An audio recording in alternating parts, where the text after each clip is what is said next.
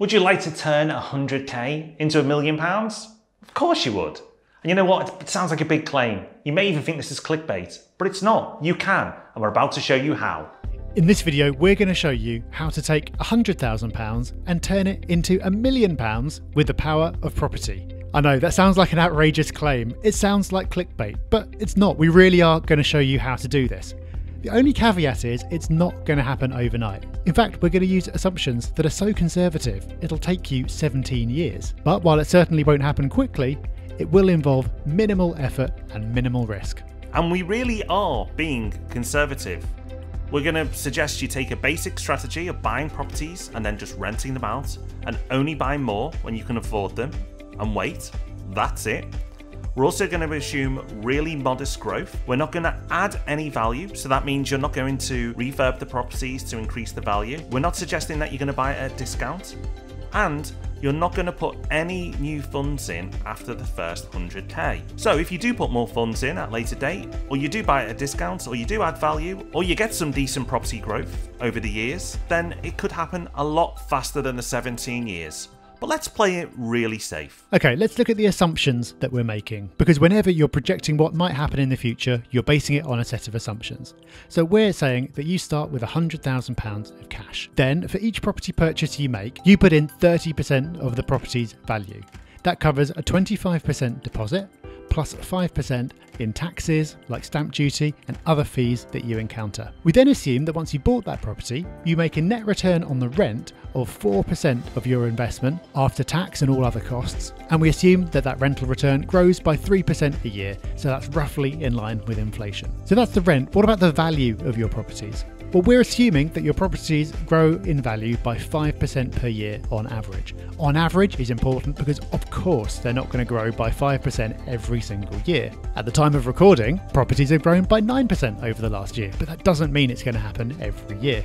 We're projecting 5%, which is roughly equal to general inflation plus 2 or 3% extra because you've bought good property in strong areas. Then the final assumption is that you save up all your rental income. You don't go and spend it on yourself, you save it up to buy more properties where you can. And you also remortgage where you can to release equity to buy more. Those two things together will allow you to buy more property in the future, even though you're not putting any more of your own money beyond the first 100k. So let's have a look at how this works. First of all, you start by buying two properties at 165,000 each.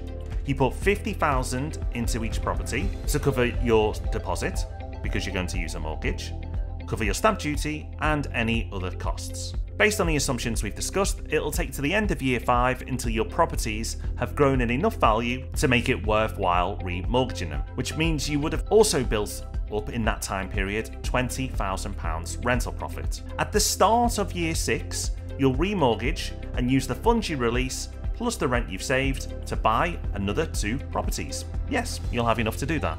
Now let's fast forward to the end of year 10. So by this point, you'll have four properties that have grown in value the original two, plus the two extra that you bought, and you'll have saved up another £37,000 in rental income. At this point, by remortgaging those properties as far as you can and putting in the rental income that you've saved up, you can buy three more properties. That is the power of the snowball that you're building here. Even though you haven't put in any more of your own money at all, you've gone from two properties to seven. Your portfolio, so the properties that you own, are worth more than a million pounds. But what we care about is the amount of equity in your property. That's how much you have left after you would pay off all your mortgages. And we want that to be a million pounds. The good news is you'll cross that mark after 17 years. Your portfolio, based on all the assumptions we've discussed, would be worth around 2.1 million. And you'll have a million pounds worth of equity, plus another £100,000 in rental profit. Not bad, hey? So you're 17 years into the future, and that initial £100,000 investment has served you pretty well. So, what do you do next?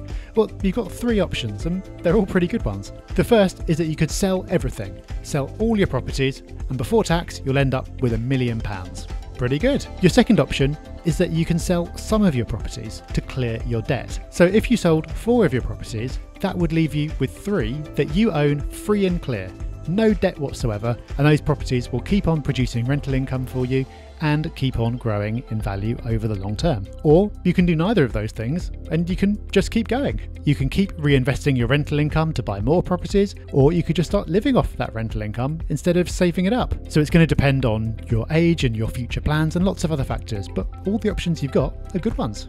Now remember, this isn't a cast iron guarantee, it's just an example.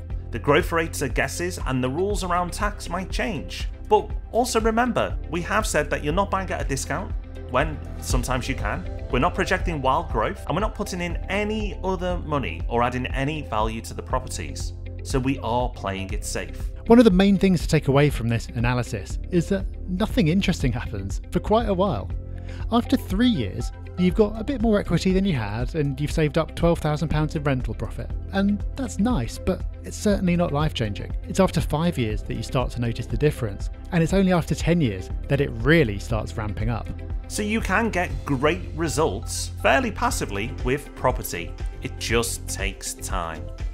Now, if you've made it this far, you are clearly a property nut and you love your property and property investing. So make sure you subscribe to this channel so you never miss another video. And because you are a property nut, you'll want to develop your knowledge further. So check out propertyhub.net. It's our website with a free forum where you can interact with other investors and we give you loads of free courses that you can take advantage of. So go and check that out as well.